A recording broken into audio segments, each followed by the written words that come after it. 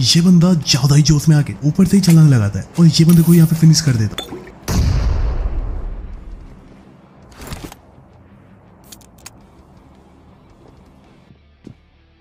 Completely मैं right पे rotate करता हूँ और यहाँ से एक नीट निकालता हूँ एंड मूवमेंट पे कुक करके आगे की ओर डालता हूँ। पहला वाला नीट तो सक्सेस नहीं हुआ। जानबूझ के लेफ़्ट में एक प्री नीट किया और राइट में एक नीट करने वाला था।